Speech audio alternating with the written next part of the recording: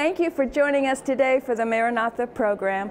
Always thankful that you take this time and you worship the Lord with us. We are so thankful that we have the freedom to worship Him. God is so good, and I just want to always praise Him. Let me draw your attention to the bottom of the screen. We have a phone number there that you can call during the week, Monday through Friday, 9 a.m. to 4:30 p.m. That number's there for you to call with your prayer request. We believe in prayer. The number is 217-423-2452.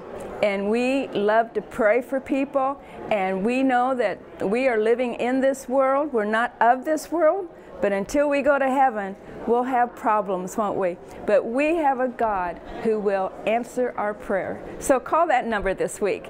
Let's go into the service. God bless. How many of you are glad to be in the house of the Lord this morning? Amen. Well, I know that uh, as your week has progressed, um, there are always things that try to come and, and, and steal your joy or steal your vision. So this morning, I just encourage you that um, you're here not by accident this morning, that you have set aside this time and this place, and that God will honor that. And so, as you begin to look your eyes towards heaven this morning and just focus on Him, come let us worship our King. He has done amazing things. How many of you have a testimony that He has done great things in your life? Hallelujah. So we just worship Him this morning. So I encourage you to, to worship with us as we uh, give honor and glory to our King this morning.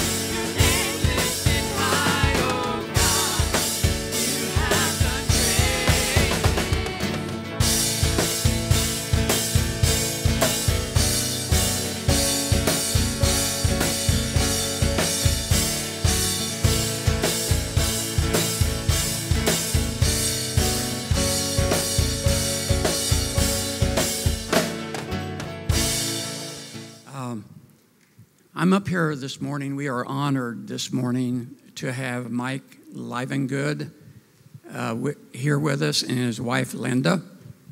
Linda's an accomplished singer and and uh, musician, and she will be singing during the altar call today.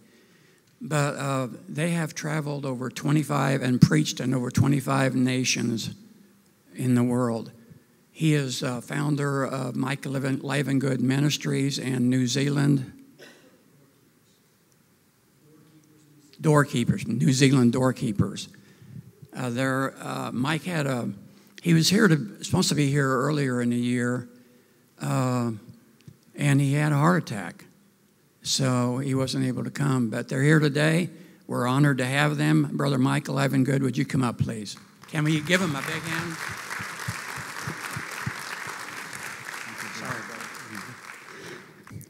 It's great to be in the house of the Lord today.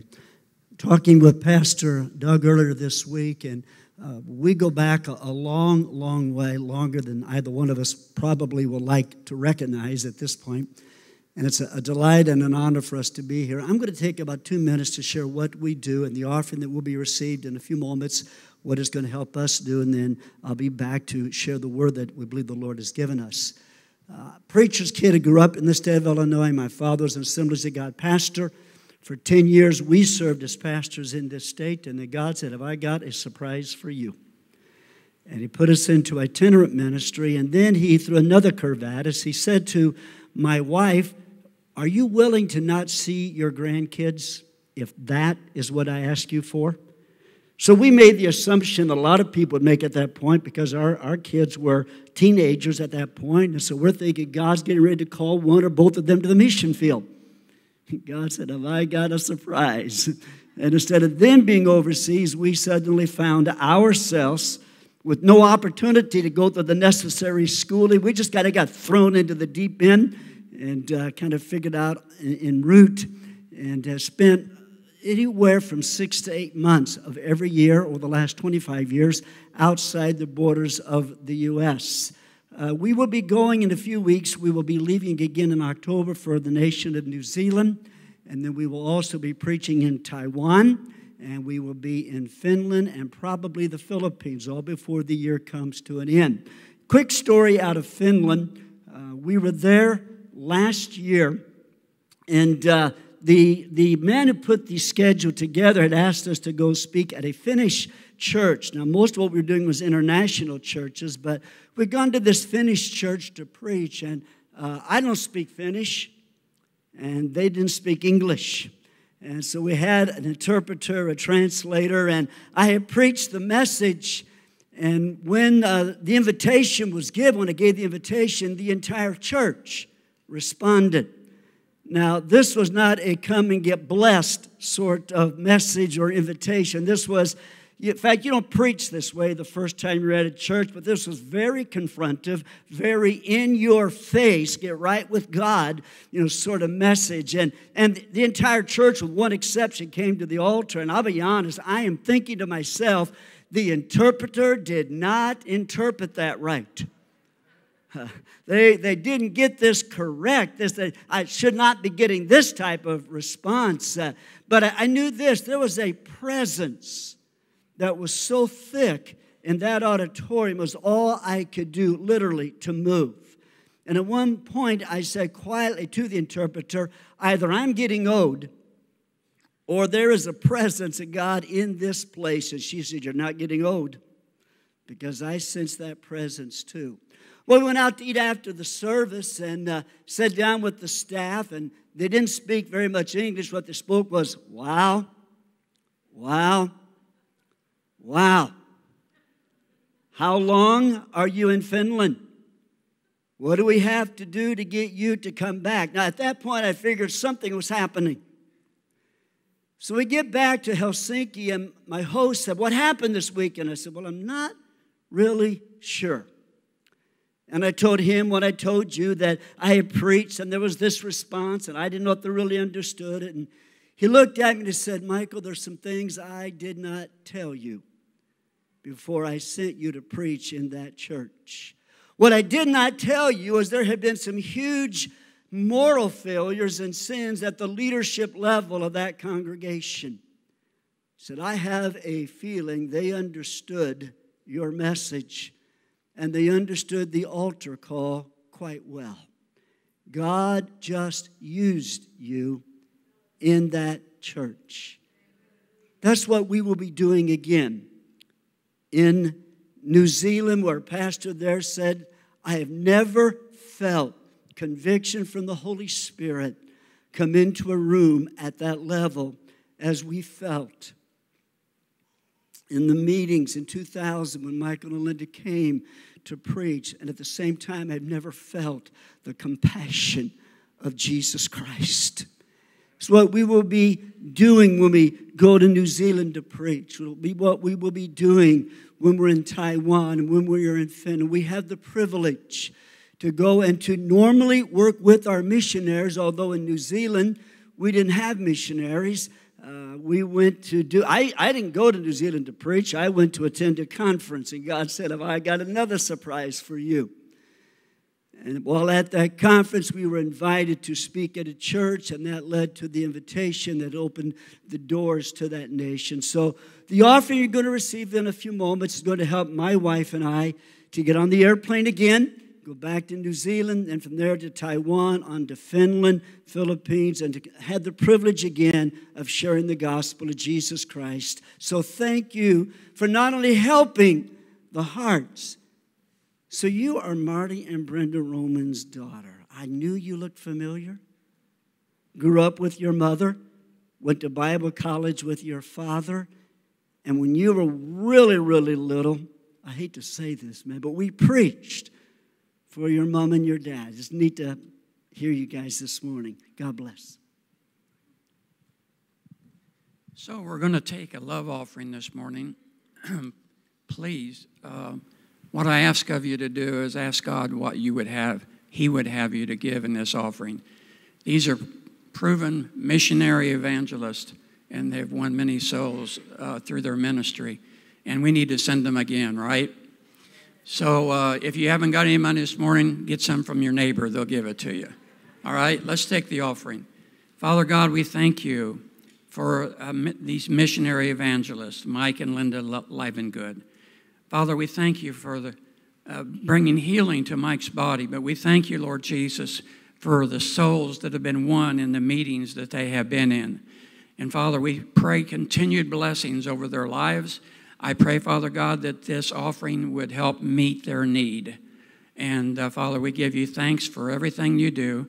You're an awesome God and greatly to be praised. In Jesus' name, amen. Evangelist, uh, missionary evangelist Michael Livengood. Thank you, Dale. Somebody asked, asked from time to time, Where do you live? I am very tempted to say to them, Somewhere above the Pacific Ocean. Have you ever had the experience where you became convinced that the voice of God sounded just like the person you were married to? You say, I'm not the only person that's had that moment where God chose to speak to you through your spouse. Well, many years ago, I wrote a little booklet on what happens during revival, and it's kind of a, a discussion biblically, historically, about some of the stuff that can happen in moves of God that's you know outside of the box. But then my wife began to speak to me, and really it was the voice of the Lord, and she began to say, you know, you really need to write you know, about something that pastors ask you about and the things that God has used you in. And so, this book, The Glory Factor, uh, Adventures in Revival, stories of stuff we've seen God do, the, the tangible, manifest presence of God, that for me, that is the earmark of genuine revival when He comes. And your language does tend to get reduced to very simple words like, wow. And the second book I wrote then, I decided to call the wow factor. And in that book, we specifically say, what is it that attracts that presence of God into places? And I'm not writing from theory. You know, thank God for those who create the theory, but these are going to come from the experiences that God's allowed us to be a part of, the privilege He's given us. And then my wife began to say to me again, she said, You know, you've written about the spirit side, you've written about that side of the move of God. You need to write about the truth side. So the last book is called The Gospel Factor. It's the preaching that takes place in Moves of God. Linda, I'll give you the books. If you'd be kind enough to stand with me, I'd like to pray and then get right into a few moments.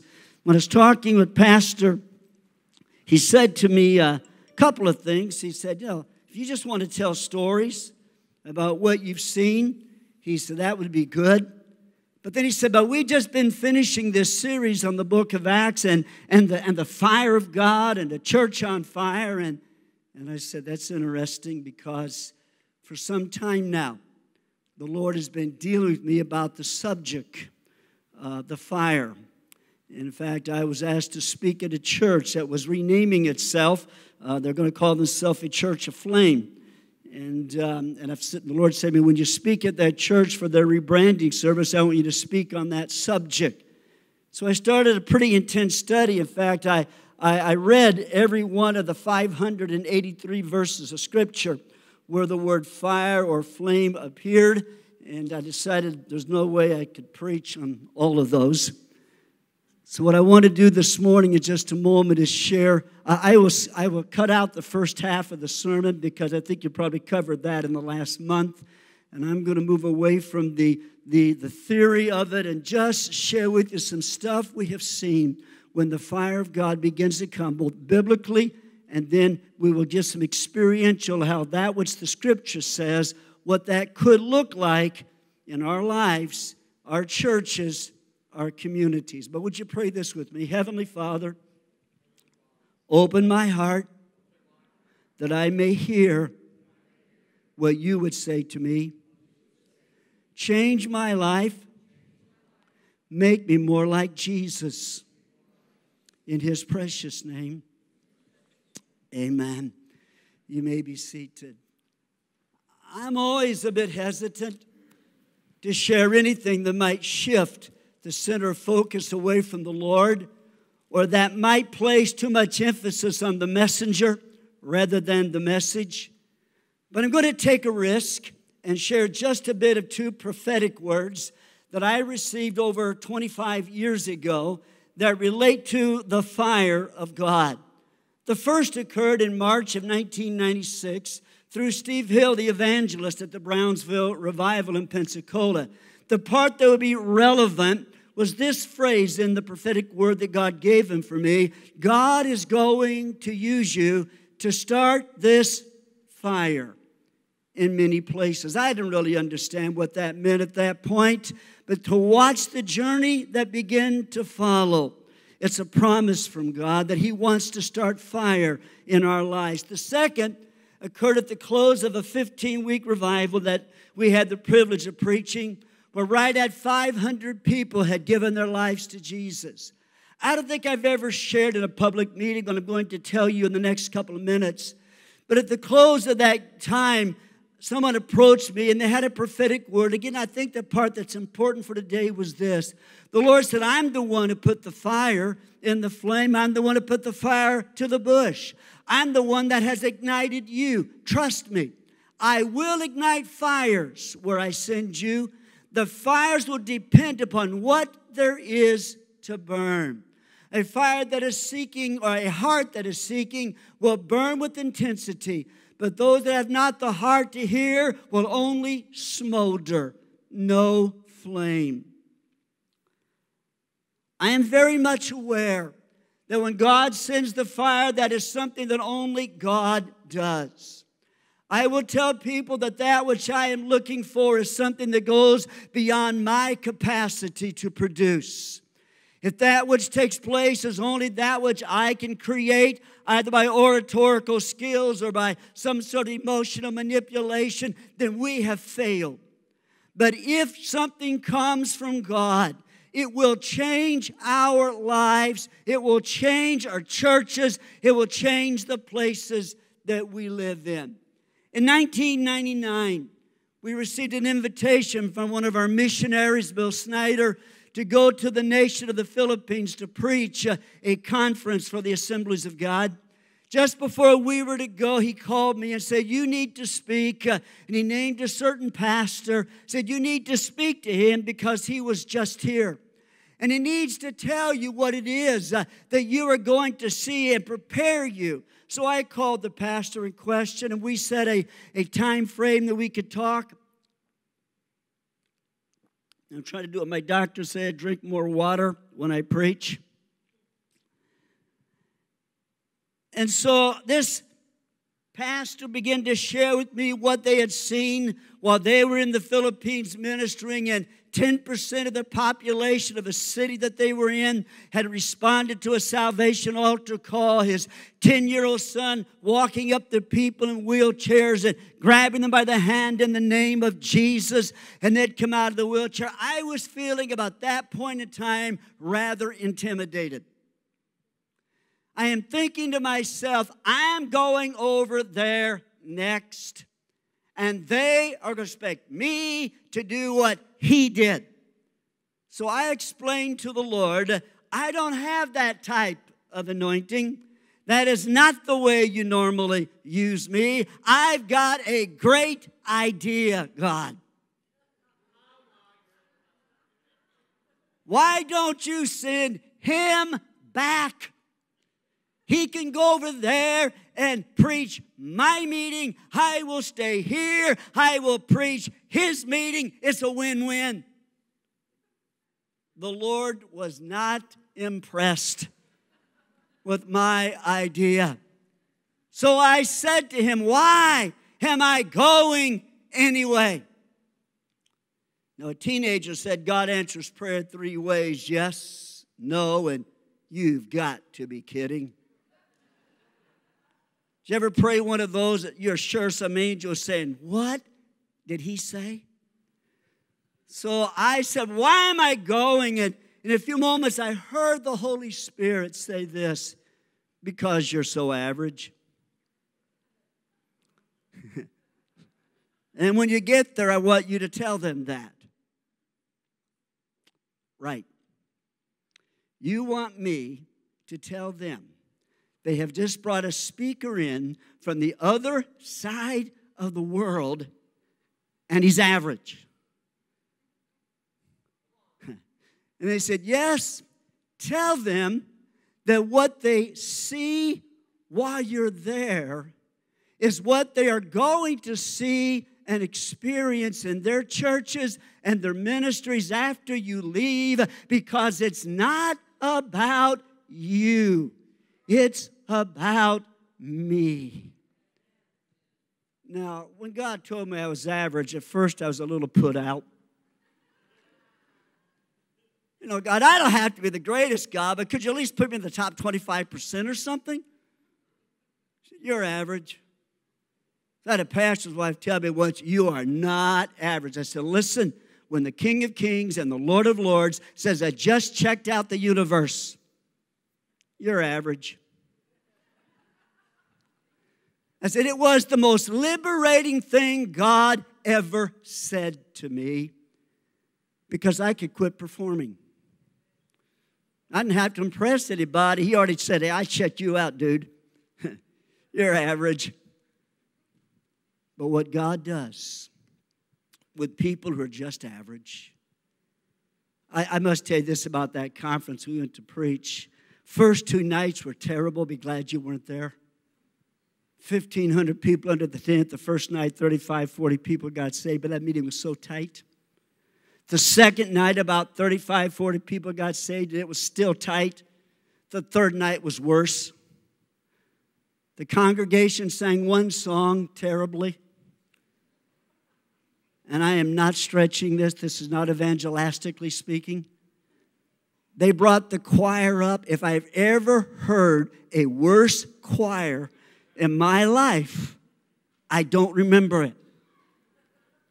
So you have one congregational song, a choir that was worse, and then the guy gets up and says, We brought our speaker in from the other side of the world. We wanted to have plenty of time, and he's given me the service. And I am thinking, What am I going to do with this thing? So I'm walking to the podium thinking, God, what am I going to do with this? It's not ready. The Spirit of the Lord tends to speak to me pretty simply because when you're average, He has to do that. And He said, I want you to just have them stand and worship. That's not all that complicated. So I said, Before I preach, I'm going to ask you to stand with me. I said, You know, for a bird to fly, it takes two wings.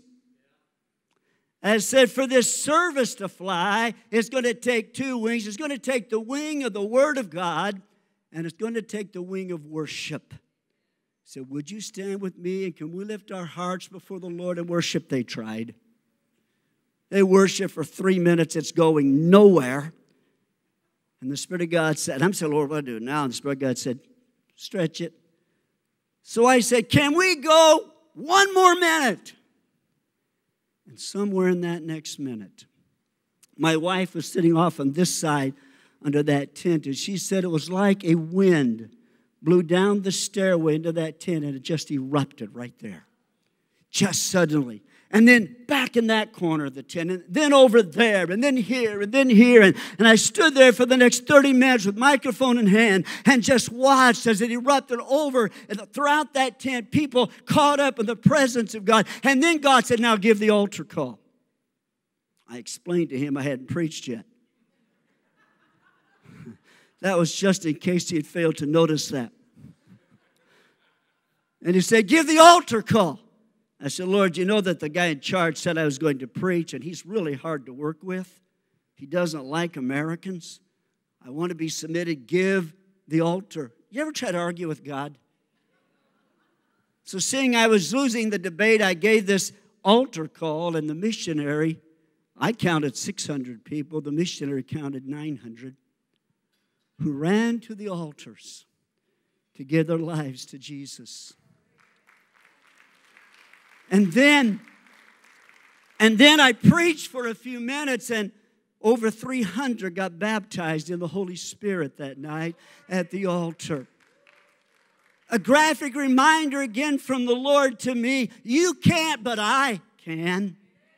And you see what you want, uh, what you desire for Decatur, what you desire for this region is that God would send the fire that there would be a fire from heaven that would come uh, as it did in the book of Acts in that church, uh, and that God would send a fire that would be transformational in your life and transformational in the church and the city that you are in. Uh, very rapid, let me share with you seven things. This will be a miracle to get this done in the next 10 minutes, but we'll work at it.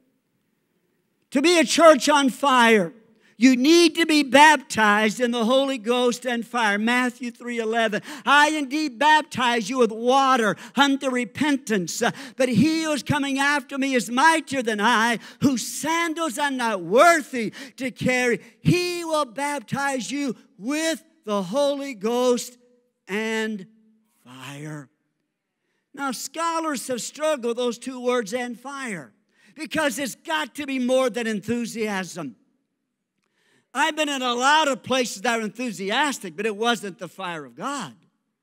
This has got to be more than the fire of excitement. It's got to be more than the fire of energy. It has to be more than emotional worship. But there is something that God is saying, I want to baptize you in such a way that you will carry fire in your spirit and in your life. If I were to make a prophetic declaration, I think I would say something like this. Uh, I believe that there are those uh, who God would say to you that you're going to come to understand experientially what it's going to mean for you to carry the fire of God. We do know Acts chapter 2 and verses 3 and 4. There appeared to them divided tongues as of fire, and one sat upon each of them, and they were all filled with the Holy Spirit and began to speak with other tongues uh, as the Spirit gave them utterance. He wants that for you. I was preaching in Vancouver, Canada. Given the invitation, people at the altar were praying with people like we will do in a few minutes. And I get to this lady, and I heard myself say, I wasn't planning this, I had strategized this. It just kind of rose up inside. I, I heard myself say something like this You're about to have an encounter with an anointing of the Holy Spirit uh, that is going to change your life. Now, that's not particularly a profound thing to say, but it just rose inside of me. And I said that, and, and I'm standing in front of this dear lady, and she begins to tremble slightly. And then she begins to shake violently. And then she falls on the floor, speaking in tongues vociferously. And I decide at that point, she really doesn't need me. I'm watching her. I think, well, she and the Lord seem to be doing quite well. And so I moved on down the line. And ultimately, I had to slip out to go to the necessary room for a few moments. And, and so I missed the story. My wife had to share it with me later that the pastor had gotten this lady to her feet and said, You need to understand, folks, what's going on here. A member of the worship team, uh, but she had never been baptized in the Holy Spirit by the pastor's definition. She thought she had everything she needed. And she has said to her pastor, I don't need to speak in tongues uh, because I'm already anointed. And she was a good worship leader. She did a great job that morning. But now she's speaking in tongues. It appeared to me that she and Jesus had a different conclusion about whether she needed to speak in tongues or not.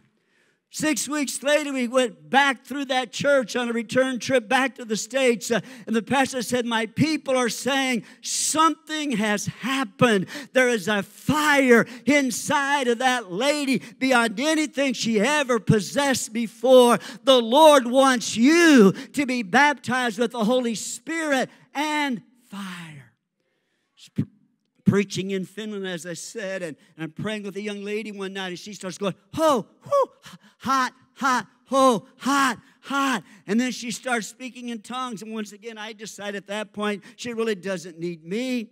And so a later member of the team said to her, What happened to you tonight? She said, I got baptized in the Holy Spirit. In a few moments, there'll be an opportunity given for people to come to the front of this building, to the altar in a time of response. Somebody in the church's ministry team is going to be coming to help pray for people. And, and if you've not been baptized in the Holy Spirit, it'd be a great opportunity for you to say to that individual, I would like to be baptized in the Holy Spirit. I would like to speak in tongues, but I also want the fire of God to be inside of me. Number two, to be a church on fire is a petition to the Lord to presence Himself, and then for us to become a guardian of that presence. The fire of God consumes everything in our lives.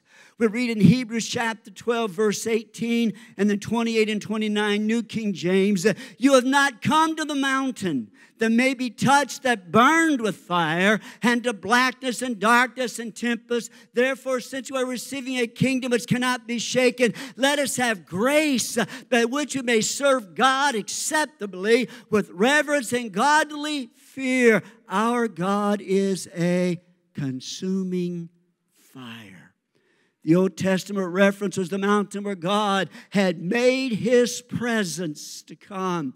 He made it visible in the fire, the thunder, the cloud, the, the sound of the trumpets, the mountain beginning to shake. And this was what they would think of. And God said, This is what my presence wants to come as a fire. As a consuming fire, He will consume everything in our life that is not of Him. Important if we are to receive the kingdom. The invitation to God is to come, presence yourself among us. Now, I understand the Word of God teaches He is omnipresent. My theology is correct. I understand out of Psalm 139 that there is no place that you can go that He is not already there. And I'm glad to know when we gather together in His name that the Word of God promises me He is going to be there. But it's something altogether different when the omnipresence of God becomes the manifest, the revealed, tangible presence of God. And you realize the atmosphere okay, what you were saying. Uh, when I step on this campus, that boy said, there's something different on this campus. Why? Because there was something of the presence of God that you would pray through to that place. It is that presence of saying, God, we not only want you in our homes and I want you in my heart and my life, but we want you in our public gatherings, that there would be that incredible sense that God Himself has come into this place. I want you to see another aspect of being consumed. To be consumed, according to my dictionary, can absorb all means to absorb all of the attention and energy. The, thethor- the thesaurus says to absorb, preoccupy, engross, eat up, devour, obsess, grip, overwhelm, monopolize, enthrall, dominate. Fires tend to demand the attention of people. Some of you knew my mother who went to be with the Lord on Easter. When I was a kid growing up, my mother loved to chase fire trucks. She never did chase the ice truck. But when the fire alarm went off, we boys understood that the next event was we would be thrown into the back seat of the car. And she'd be off to see where the fire was at. There's something about fire that grabs people's attention. I want to come and presence myself as a consuming fire in your midst. It is, I believe, the greatest indicator of revival that I personally experienced. This, I was preaching in New Zealand. Member of the national executive team had come to the meetings one night. He spent the entire night on the floor. I don't ever remember praying for him. He just ended up spending the entire night on his face on the floor. At the close of the service, he said to the pastor, The only thing that I can tell you, sir, is that God Himself has chosen to come into this place. It was not unusual during the 20 weeks of those meetings where 800 people got saved for somebody to walk in the office during the week and say, What is it that's going on here? Because when I go by this place, I sense, I sense something, I feel something I don't feel anywhere else. Can you explain to me what it is that I am feeling? I love the, the preacher that came one night and after one night, he decided he's seen everything he needed. So um, he goes home and he calls the pastor the next day and says, uh, Why are these meetings continuing? They went 20 weeks. He said, Why are they continuing? He said, I was there. He said, Your music is average. No, he said, Your music is fair. He said, Your music is fair. He was being kind. It wasn't that good. It was living proof that you didn't have to great music for God to show up because it. He said, the preaching is average. What do you expect if God sends you an average? He apologized so many times to me after that, but the pastor said, Listen, it's not about the music, and it's not about the preaching, but something is happening at the altar. And when people are coming and the presence of God begins to invade them, there are transformations that are taking place in their lives. You need to come back and you need to come to the altar. So he came back and he came to the altar, and I didn't pray for him, but some little lady in the church, she was so straight, she made a ruler look crooked. Uh, she, she, her, she was still wearing the Pentecostal bun, the whole bit, uh, and she lays hands on this guy. He comes to three rows back under the seats, has no idea how he got there. And he goes home and calls, he was the presbyter of his region. He calls every preacher under his, uh, under the, that he was responsible for and said, get to that meeting, go to the altar and find this lady. because there was something that he had encountered in the presence of God. I want that for you.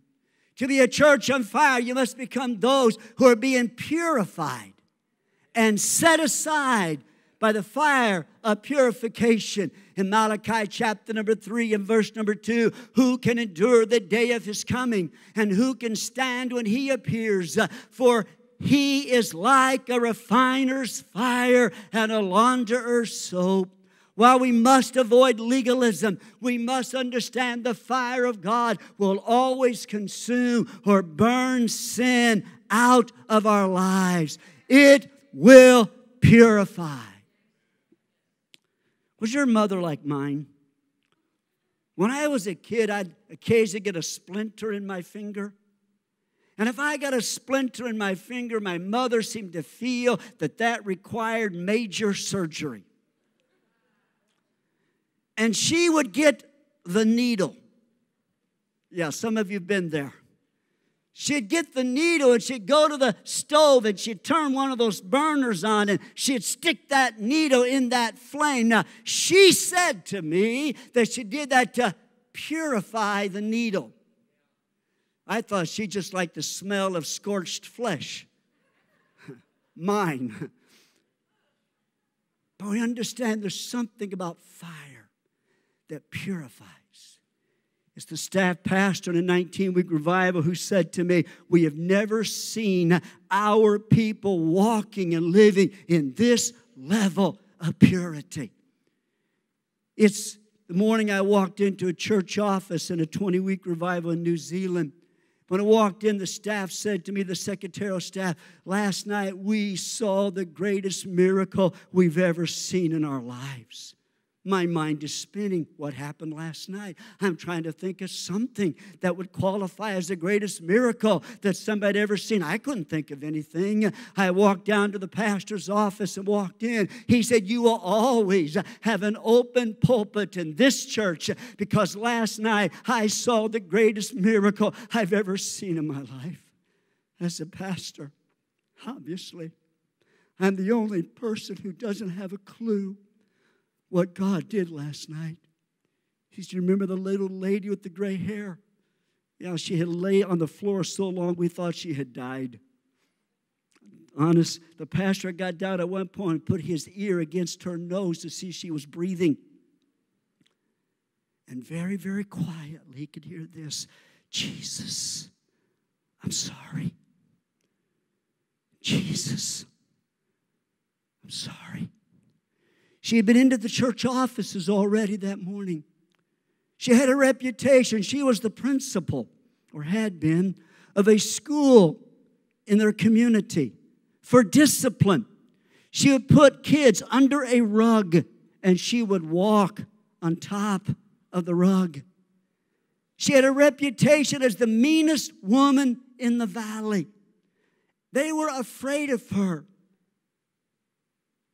In fact, what God did that night in her life in the years that followed.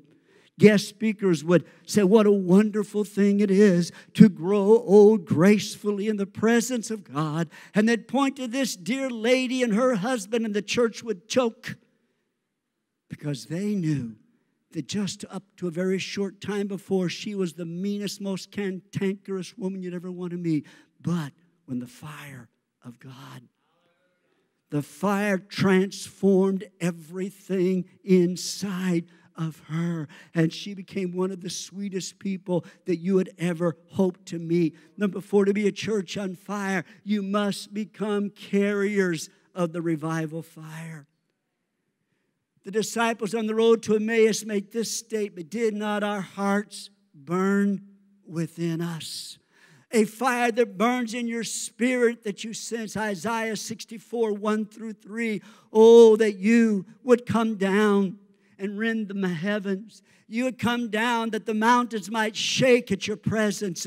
As fire burns brushwood, as fire causes waters to boil. Make your name known to your adversaries, that the nations may tremble at your presence.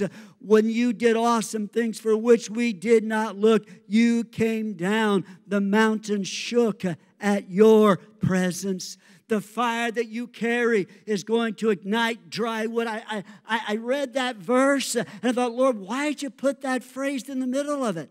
That verse makes sense without the phrase about the fire burning brushwood and the fire causing waters to boil. You could take that phrase out and it still makes sense.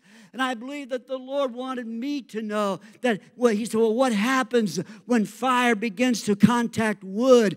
It changes the, the appearance of the wood. It changes, you see, fire changes surroundings when the fire begins to cause the water to boil, it changes what the water is. When fire begins to light upon wood, it changes what the wood is. And when fire begins to light in your life, it begins to not only change you, but it begins to change the circumstances, begins to change those around you. You can walk into a room that is cold and you can light a fire in the fireplace. And it's not just uh, that the room gets warmer, but the entire atmosphere of the room begins to change. Why? Because fire brings changes in the atmosphere. God wants you to carry fire that causes the atmosphere around you to be different. My wife and I were sitting at a cafe, it was travel day. It was like temperature's been the last few weeks. It was like 105 outside, and we were not going to reach our destination that day. And so we, I, I had cutoffs on, and I had a T-shirt on, and we're sitting for lunch, and the waitress brings us our food, and she sits it down, and she says, "Are you a preacher?"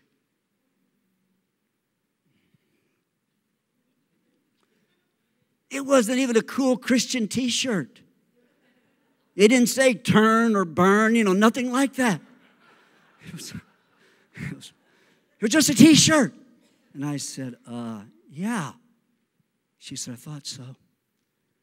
Because when I walked up to this table, I felt the presence of God. And I heard the Holy Spirit say, Someday, someday, if you'll let me, I want to do something inside of you that will not just be another believer who senses my presence, but that you will walk into places and atmospheres will begin to change. Why? Because you are carrying my presence. That the fire that you carry will begin to raise the spiritual temperature around you. Historically, Evan Roberts prayed Isaiah chapter 60 over, the, over his nation, and, and, and, and, as, and it was that which was the foundation for the great Welsh revival.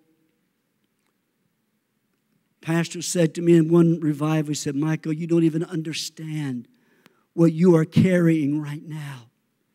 He said, the moment you don't have to lay hands on people. He said, all you have to do is just kind of get in their neighborhood at the altar, and there is something that you are carrying that you don't even know that you're carrying, and it's impacting their lives. Fire of God. Heart's cry says, Oh God, I want to carry that more, not just occasionally. But Lord, I want to walk with that fire that changes not just churches I preach in, not just to have people say, you know, there's something when you got. No, I want to walk in. I want to walk into the pizza place after a Sunday night service and people begin to fall out of their chairs.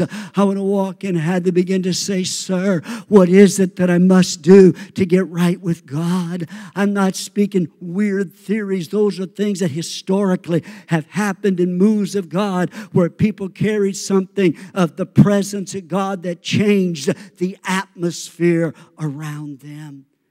God, I believe in the days ahead, wants to let you carry His fire experientially in such a way that others begin to come to you and say, Can you explain to me what it is? It's, it's, the, it's the young lady whose church was in revival, pastor's daughter.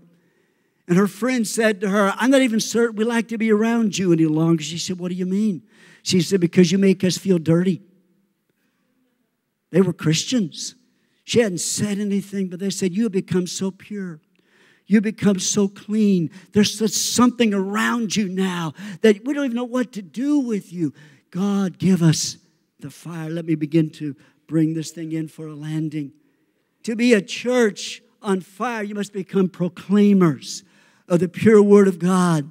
Jeremiah chapter 20, verse 9, I said, I will not make mention of him, nor speak anymore in his name. But his word was in my heart like a burning fire, shut up in my bones. I was weary of holding it back, and I could not. In Jeremiah 23 and 29, is not my word like a fire, says the Lord, and like a hammer that breaks the rock in pieces. I want to say to those of us in this room that had the incredible privilege, opportunity of whether it's standing in front of a class, whether it's leading a group, whether it's preaching from a pulpit, whether it's preaching on the streets, that God wants to put a fire inside of you that causes the Word of God to, to go into people's hearts in a way they cannot forget. I was preaching in Argentina on the streets. And it was one of those moments. We had a bunch of teenagers doing stuff, dances and stuff to get attention. And, and, and when, I, when I got up to preach, suddenly he came. Just there he was. Atmosphere changed. I didn't even try to preach. I just said this you feel him. He just came to this corner. And I shared just a moment about giving their lives to Jesus. And then I literally went eyeball to eyeball with every person that I could catch their eye at that corner. And I challenged them to give their lives to Jesus, and nobody responded. I mean, nobody. I'm like, I don't I get this. You're, you're here, Lord. I felt your presence. But yet, three weeks later, I got a, an email from the missionary. Said, Michael, I got to tell you this. Because I was in that city last night. I was at our church in that city. He goes, and the pastor said to me, Do you see those young people, about a dozen of them over there? He said, Yeah. He said, They just started coming to the church.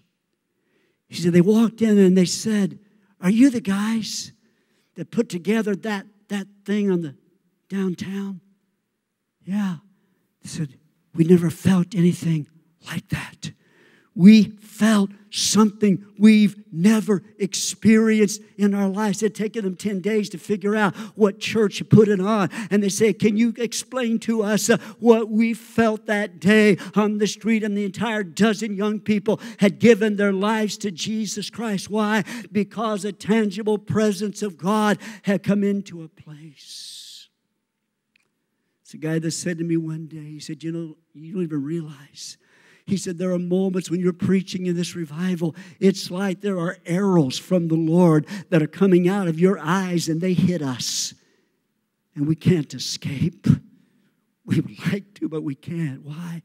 Because there can be those moments that God puts a fire on you and on the communication of His Word, and it goes deep into the heart of the individual that you are speaking to. Number six, as a church on fire, you may not be accepted by everyone. Luke chapter 12, verse 49, Jesus is speaking. I came to bring fire on the earth. I wish it were already set ablaze. I have a baptism to be baptized with, how it consumes me until it is finished. Do you think I came to bring peace? No. I tell you, division. No, I like the thought of God's fire burning on the earth, but in the context of Luke 12, it's a division caused by Jesus. I have some friends who like a good fight. I had a lady in my church, I don't think she was happy unless she was fighting somebody. It was just who she was. I've always been on the side of can I be bring people together? But here's the reality. Sometimes when God sends the fire into your life, people don't know what to do with you. And when God sends the fire to a church, some people don't know what to do with that church. And God sends a fire to a people and it becomes controversial. You weren't trying to become controversial, but the fire of God inside of you begins to change the temperature around you. And some people just don't know what to do with that. You see, over the years, I, I, have been amazed because there are some things that, well, I mentioned a meeting with 800 people got saved, but there was one man in the church who did not like the meeting at all in any way, shape, or form. He, he heard that the press was coming to interview so he called them. to give them a series of questions that they should ask because there were things he didn't like. I wanted to ask this guy, which one of the 800 people that gave their life to Jesus did you not want to see go to heaven? But there were things happening he wasn't comfortable with. And sometimes when God sends the fire, it begins to expose things. And somebody say, Oh, God, send the fire, please, to my neighbor. Because he sure needs cleaned up. God, send the fire to that person that sits down the road for me because, boy, they need it. God says, How about I will send the fire to where you sit? Because I need to do something inside. Will you give me permission to do that? I close with this. Linda, come to the keyboard. As a church on fire, you will be sheltered and protected by that presence. Zechariah chapter 2, verse 5 For I, says the Lord, will be a wall of fire all around her, and I will be the glory in her midst. I don't know what the future holds. I have things I suspect. We may be coming into the greatest season of persecution and opposition that the church in the West has ever experienced. If that's what lies before us, I want you to know something. The fire of God will also become a wall of fire around you. There will be dramatic stories of God's incredible protection, unusual things that He will do.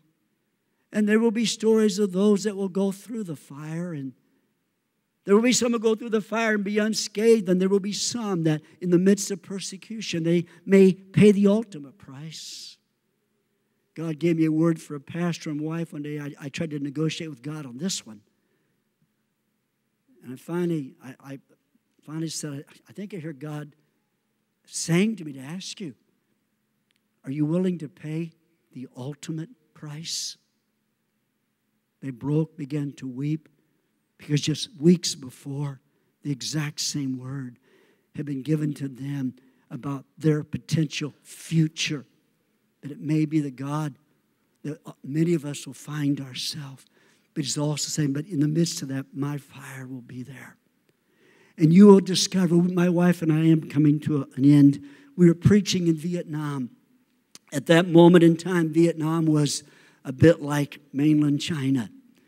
There, there was very, very little freedom, and we were in there, and every day they changed locations. They couldn't figure out where we were at, and, and they would they would they went a different way every day, and, and to get to the places. It was, it was I don't have time for the whole story, but to watch what God did in the midst of that,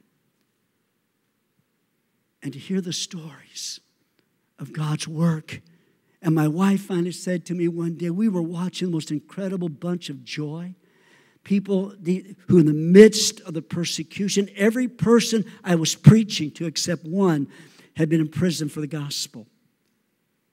And they told me, We're praying for that one to get arrested. Thanks, don't pray for me.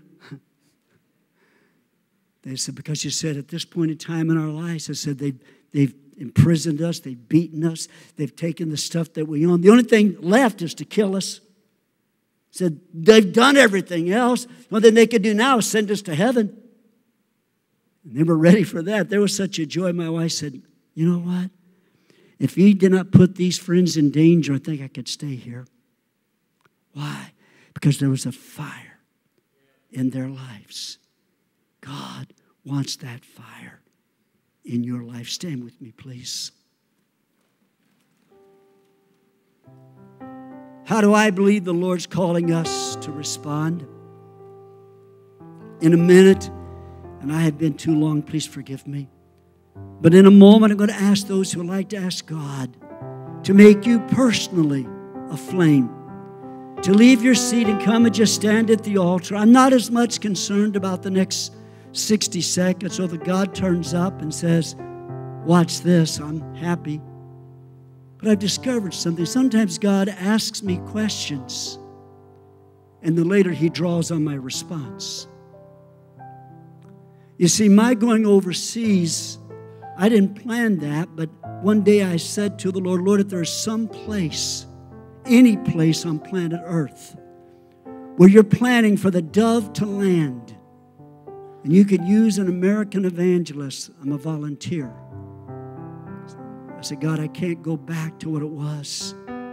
So if there's some place, and a year later, year and a half later, said, Yep, I've got a place. I'm going to send you. And you're going to fit that place in a way that you'll have never understood. But he was waiting for me to give him permission. And I believe there's some in this room that God is saying to you, Will you give me permission to set you on fire? Will you welcome my fire in your life, my presence? Will you welcome the fire of purification? Will you welcome the fire that changes the atmosphere around you?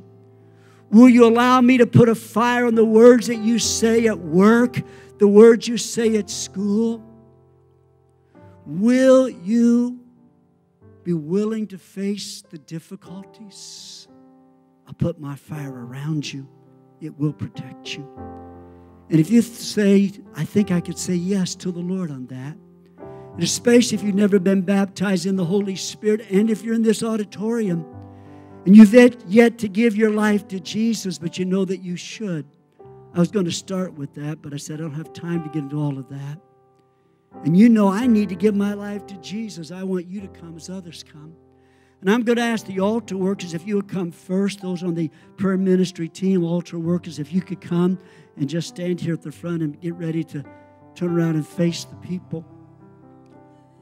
I love to pray for people, but the one concession I've had to make to this heart situation was maybe haven't quite reached the point of recovery yet that I can preach hard and then pray hard for people. So I'm, I'm really relying upon, but I'm asking God to put the fire in these friends. If you could say, Lord, I want fire. Whatever it means, you have been in the last few months. I've heard it since I came in, but I already knew it. That you've been experiencing something that's arising. My wife put it this way to church the other day. She said, There's a simmering going on in that church. It's a church that has known the fire, but right now there's a simmering, and you have the sense it's about to boil over again. And there are some of you that there's a fire simmering, and God is saying, Will you let me turn the heat up? Will you let me make it a full blown fire in your life? That's what I'm calling for. I'm not asking for you to come to make me feel good. But if you say, God, I want fire in my life, whatever that means, send the fire. I'm a candidate. Then I'm going to invite you right now. Slip out of your seat. Come and stand here at the front. One of these team members will pray for you. And then listen, when, once people have come, there will be no official dismissal. It's as normal. You can slip out as you need to slip out. You can linger at the altar as long as you want to linger. When you have to go, feel free to slip out. But could I invite us to come and give those who want to come a moment to come first before you leave? I know some may have appointments that you have no option, you have to be there. But you would say, Michael, I want to ask God to start a fire, fan the flame in me. Now, Father, in Jesus' name, I know, Lord, time got away from us this morning. But Father, right now in this auditorium, Father, at the pews here at the front, Lord, as friends begin to say to you, Lord, I am a candidate for the fire of God in my life. Would you hear them? Would you begin to ignite a fire inside of them today, this week? May they begin to experience a fire of God like they've never known. In Jesus' name. Altars open. I welcome you to come and let these friends pray with you. When you have to leave, thank you for being here. You caught the announcements of the activities of the week. Take advantage of them, be a part of them, especially the Heaven's Gates, Hell's Flames. Get, get on that, be a part of that. Invite an unsafe friend to come and be a part of that with you. God bless you. Thank you for letting us be here. Uh, feel free to be dismissed as you need to. I will tell you this if you're going to the door to escape the conviction and you knew you're supposed to come to the altar, running won't help. because He'll go with you.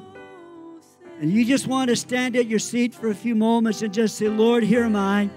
Then please feel free to do that. God bless you.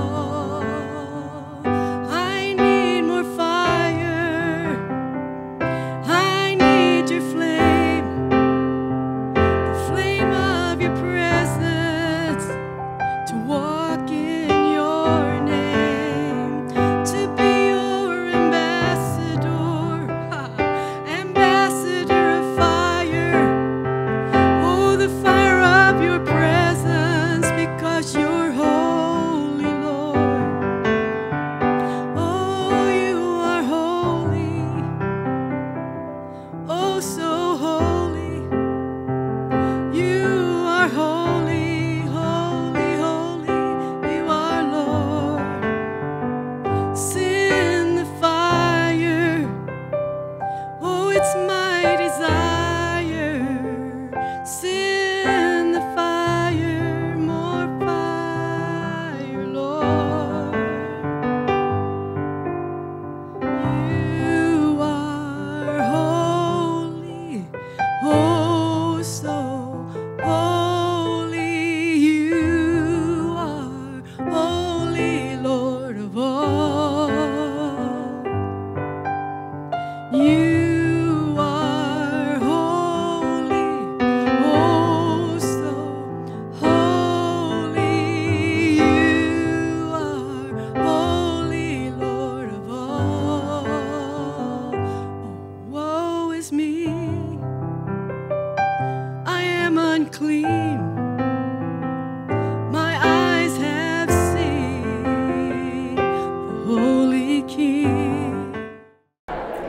Once again, thank you for joining us today. I trust you received something from God's Word that not only you, but me will apply to our life. You know, I will never ask you to do something that I know I should do too, and I want to worship Him, I want to praise Him, I want to live by His Word, and so that's what I would like for you to do also with me.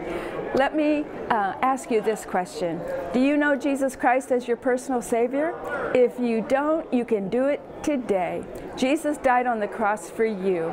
All you have to do is say this prayer Dear Jesus, forgive me of my sins, come into my life, and help me to live for you. Amen. And He'll do it. I promise you, He'll do it. Well, until we see you next week, Maranatha. God bless. We want to thank you for joining us today for Maranatha. Remember, a warm welcome always awaits you at Maranatha Assembly of God in Decatur. If we can help in any way, please don't hesitate to call or write. Until next week, here is wishing you God's best on behalf of the Maranatha family. People say